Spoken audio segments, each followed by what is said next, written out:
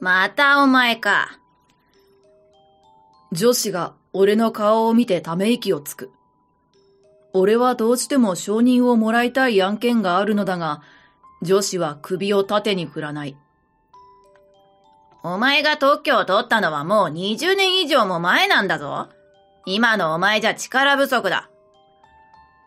そう言われ、さすがにそろそろ心も折れてきた。思い返せば、この上司には散々な扱いをされている。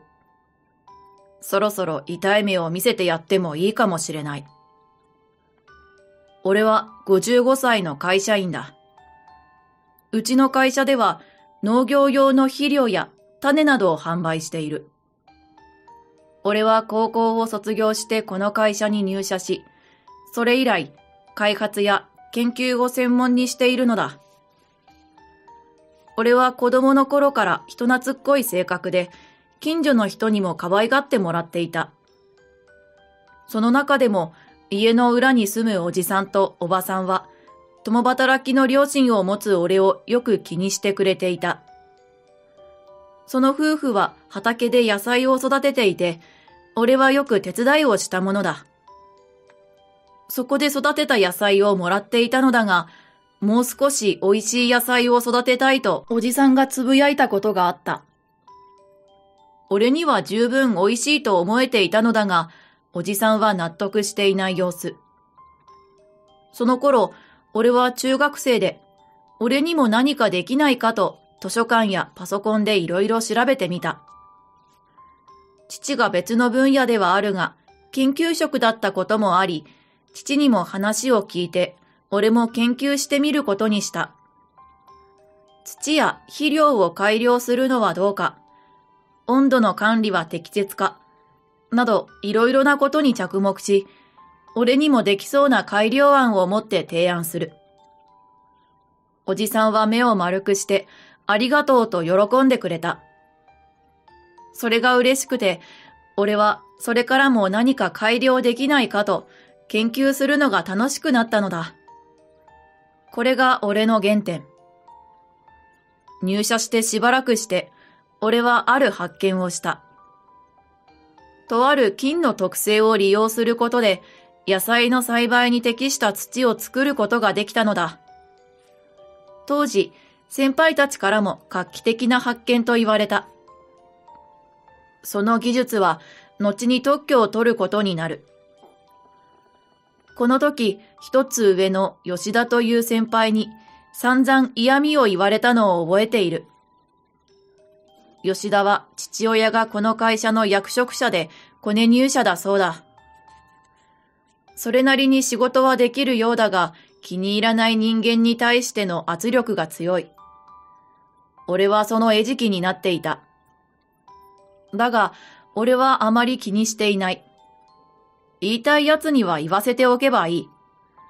昔からそういう性格なので、吉田に嫌味を言われても落ち込むことはなかった。何せここでは面白い研究ができるんだ。こんな環境で少しくらい嫌味を言われたって痛くも痒くもない。それは20年以上経った今も同じだ。その間、吉田は部長に出世し、今では俺の上司。うちの会社はコネ入社だと役職者になりやすいらしく、同じくらいの仕事の出来なら、コネ入社の人間が出世していくのだ。少し不満はあったが、俺自身の待遇も悪くはないし、特に気にしてはいなかった。しかし、吉田の方は未だに俺のことを敵視しているようだ。入社して早々に注目を浴びた俺のことが相変わらず気に入らないといったところだろう。でも、仕事に市場を挟まないでほしい。俺は新しい開発を続けているのだが、上司である吉田が承認をしてくれず、進んでいない開発がある。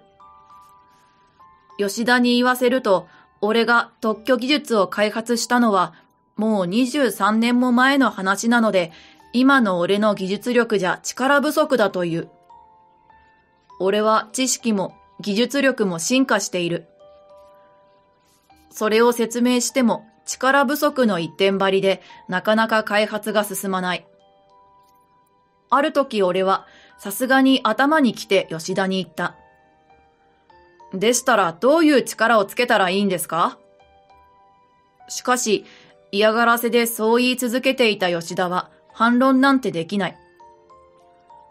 とにかく、お前の企画書にある開発費、これが高すぎるんだ。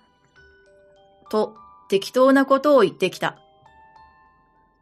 開発費は妥当だと思います。以前の特許技術を利用した新しい技術なんですよ。俺は食い下がったのだが、吉田は鼻で笑う。お前、いつまで20年以上前のことを言っているんだよ。さすがにムッとした表情で俺は反論した。確かに、特許技術を開発したのは23年前です。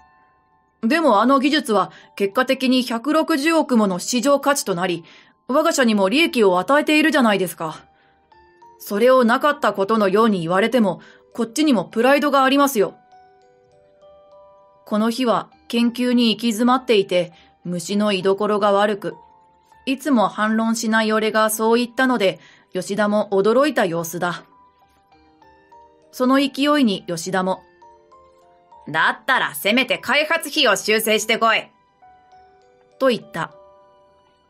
俺はしぶしぶその条件を飲む。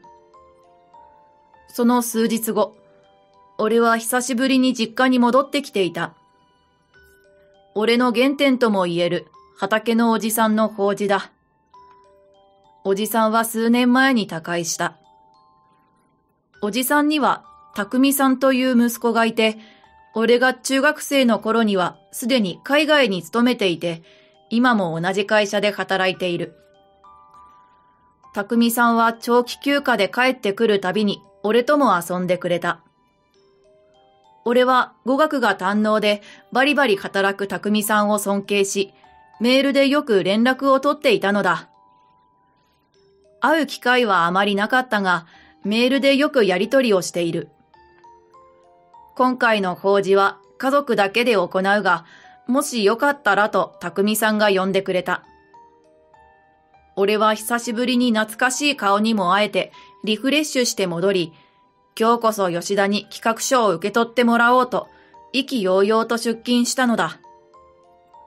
だが、俺のそんな気持ちはくじかれる。部長、開発費を修正した企画書です。吉田を呼び止めると、吉田は面倒そうに企画書を受け取り、パラパラとめくる。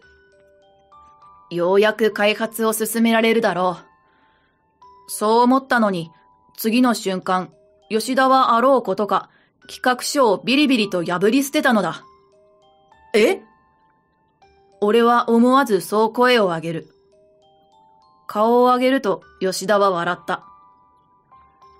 こんな企画書通るわけないだろ。俺はすかさず反論する。問題なのは開発費の部分ですよね。先日そう言われたので修正したんです。しかし吉田は俺を見下した顔で。修正したら企画書を通すなんて誰が言ったんだよ。という。そう言われると、はっきりとそう言われたわけではない。でも、いくらなんでもこの仕打ちはひどすぎる。俺は、何も破り捨てなくても、と口にした。吉田は落胆する俺を見て、いい君だと言わんばかりに見下してくる。過去の栄光にすがる給料泥棒は用済みなんだよ。その言葉に俺は思わず言い返す。特許技術を開発したことは誇りに思っていますが、過去の栄光にすがってなんていません。時代に合わせて新しい技術の勉強もしていますし、私が手動で開発した別の商品も売り上げを伸ばしています。給料泥棒とまで言われる筋合いはありません。吉田は破り捨てた企画書をわざと踏んだ。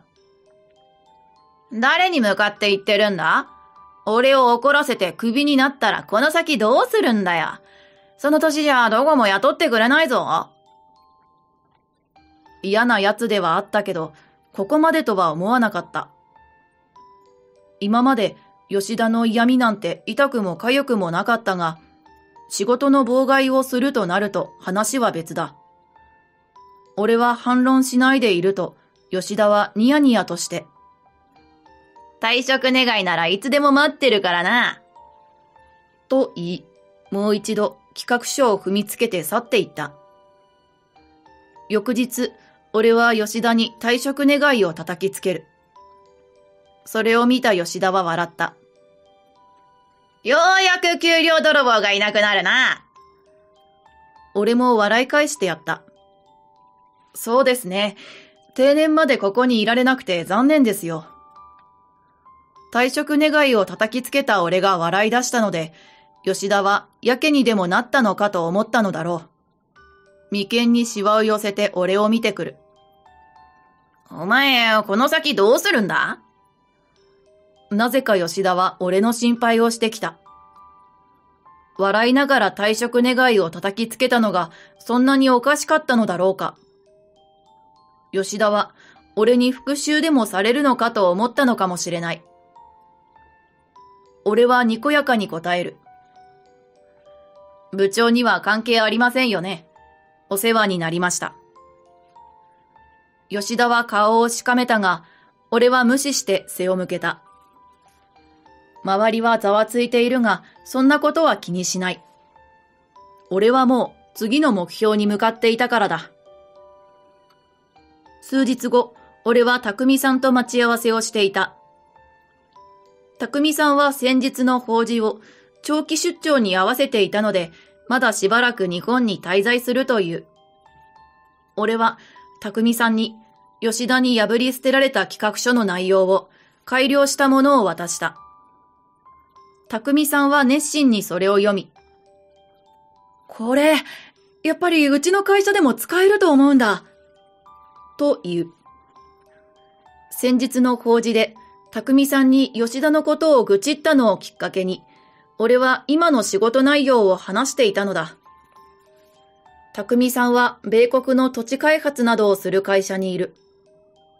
俺でも名前を知っている業界トップの企業だ。匠さんは今、発展途上国の開発にも関わっていて、土の開発に悩んでいるという。俺が開発した特許技術を、さらに改良させた今回の技術はきっと役に立つはず。俺は匠さんの上司を紹介してもらい、即刻この技術を売り込んだ。すると、実用化までどれくらいかかるかと問われたので、開発費と期間を提示する。匠さんの上司は俺のことを絶賛してくれ、こんな素晴らしい研究者を手放すなんてバカな会社、だとまで言ってくれた。そして俺はこの企業と契約することになったのだ。俺はすぐに用意された研究所で開発を始めた。匠さんの会社は日本にも支社があり、そこの研究所だ。研究所はいろいろな場所にあるらしいが、ひとまず近くの研究所だと通える範囲だったので、そこに通うことになった。俺は1ヶ月で新たな技術を取得。これは匠さんの会社ですぐに活用されることになった。それから半月後、俺のスマホにはなぜか吉田から着信が来る。首をかしげながら電話を取ると、お前今何してるんだ？大丈夫なのか？と少し慌てた様子の吉田の声が聞こえてきた。大丈夫とはどういうことなのだろう？話を聞くと、吉田は当初、俺から何らかの復讐をされるかもと思っていたが、何の音沙汰もない。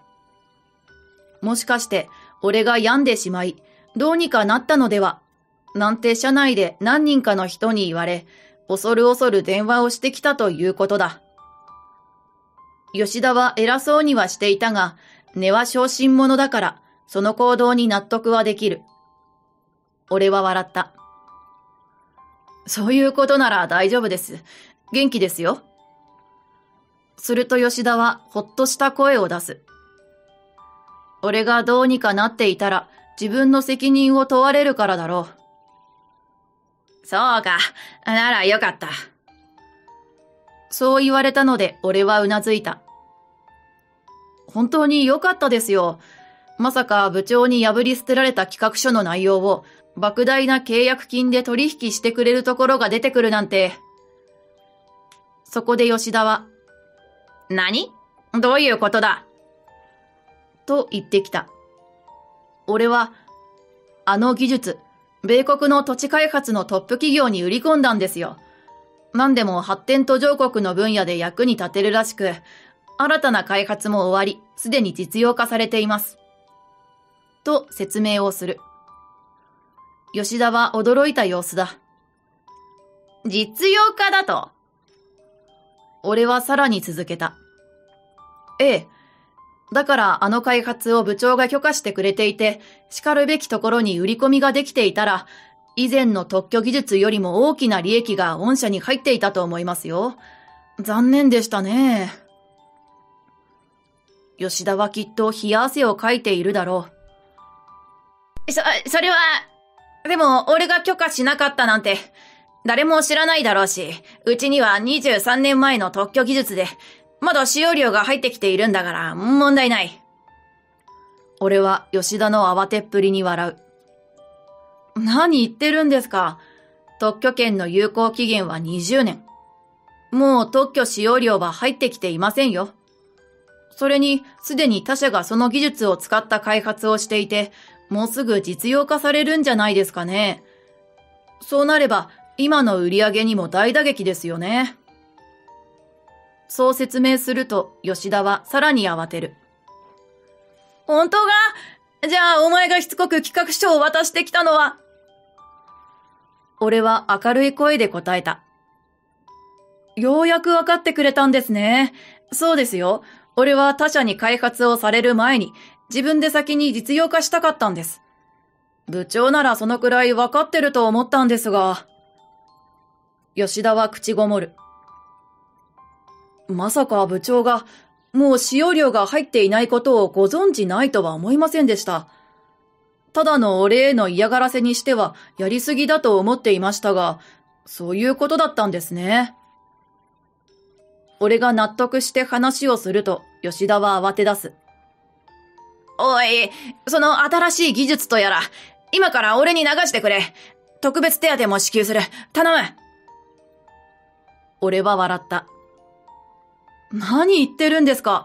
俺はもう会社を辞めた身ですし、新しい技術はすでに他の企業と契約済みです。御社に譲れる知識なんて一つもありません。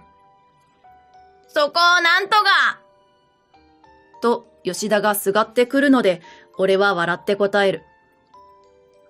大丈夫ですよ。俺はあなたの報告のおかげで、上からは評判が悪かったですから。給料泥棒と思っていたのは部長だけでなく、他の上層部もですよね。あなたが散々、俺のことを悪く言っていたのは知ってるんですよ。どうせ部長は、給料泥棒をクビにしたからと、特別手当でももらえたんじゃないですか？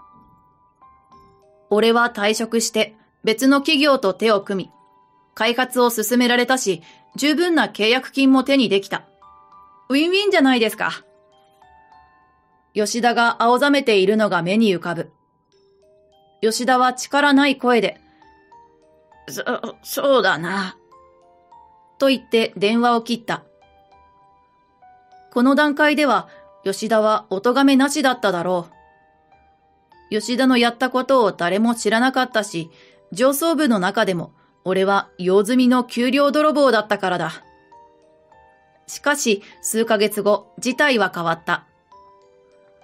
俺は初めて雑誌のインタビューを受けたのだ。あの開発は実用的で、すぐに発展途上国の救世主として土の改良に使用された。それが業界内で広まり、インタビューが雑誌に載ったのだ。俺の顔も名前もしっかりと載っている。もちろん、俺がいた会社も同業者だから、このインタビューはチェックされているだろう。予想通り、会社から電話がかかってきた。電話に出ると、なんと社長だ。そこは予想外だったが、内容は想定内だった。どうやら俺がこの開発に成功したと知られてから、社内の人間が吉田のせいで俺が辞めたと漏らしたらしい。俺は社長に洗いざらい話してやった。吉田から開発費を理由に企画書を通さないと言われたこと。修正した企画書を吉田に破り捨てられ、退職に追い込まれたこと。さらに、吉田は特許使用料についても把握していなかったことを伝える。吉田さんが開発の許可をしてくれていれば、こんなことにはならなかったでしょうけど。と残念そうに言う。まさか、吉田がそんなことを。と社長は言ったが、何か思うことがあったのか、すぐに謝罪をされた。社長は電話の向こうで青ざめていることだろう。俺は続けて。御社の売り上げ相当下がっていますね。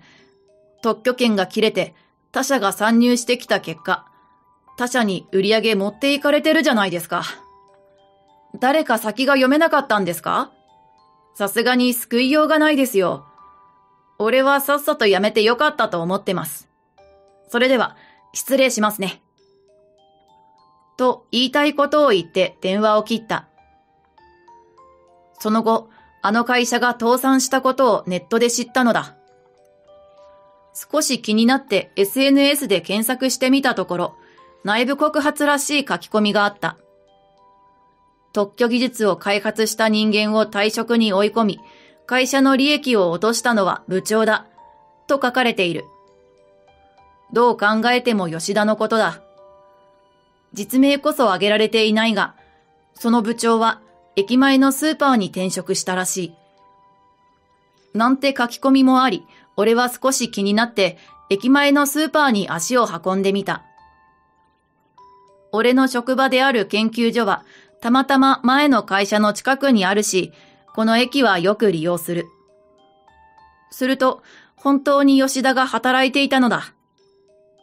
店長らしき人に怒鳴られているところに遭遇。吉田は俺に気づくと、目を丸くして一目散に逃げていった。他の店員が、あの人また怒られてるよ。本当に使えない人だよな。と話しているのが聞こえたので、吉田は随分と苦労しているようだ。まあ、今まで俺に散々嫌味を言ってきたんだ。そろそろ立場が逆転してもいいだろう。俺はこのスーパーをたまに利用するのだが、吉田と目が合うと吉田が逃げていく。相変わらず怒られながら仕事をしているし、ざまあ見ろ、と思いながらスーパーを後にする。俺はその後、匠さんと一緒に発展途上国へ視察に行くことになった。自分が開発した技術がこんな風に役立っていると間近で見られて感動したし、現地の人から感謝され、心が温かくなる。俺はこれからも自分の役に立つ開発をしていきたいと心から思ったのだ。